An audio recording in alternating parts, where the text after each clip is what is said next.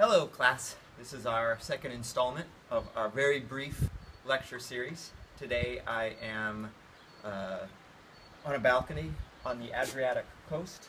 This is the little town of Grottammare and uh, seeing all the fairly white people spending days and days in the sun, turning their whiteness to something more burnt, uh, gave me an idea of talking a little bit about representations of whiteness. Um, uh, starting here today uh, with Huck Finn, and I'll have some words to say about Finn uh, in my second installment here.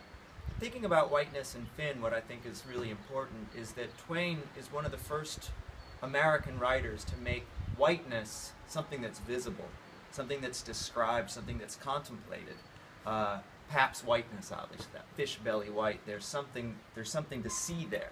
Uh, usually, whiteness is neutral. There's nothing to see. Blackness is the other. Uh, what I see in Huck Finn in terms of blackness is Jim's blackness is almost never remarked upon. His hair, his skin color, anything.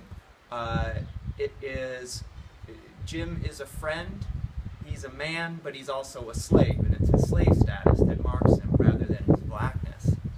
And when Huck and Jim are naked on the raft, as they often are, I don't see that as a real nakedness as much as it is when they're on the river, they are free from racial identities.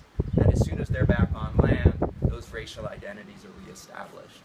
Um, so I want to think about that. Um, whiteness is a thing to make you sick, as the thing that civilization, with a capital S, is inscribed by, and it's the thing that does uh, uh, result in certain kinds of pathological, uh, psychopathic even behaviors. Um, so as we move to Finn uh, here in just a sec, uh, we'll kind of think about that. And uh, there's going to be a keyword, a password for these videos so that I know you've seen them, and you'll write them down on a quiz at some point. And the password for this one is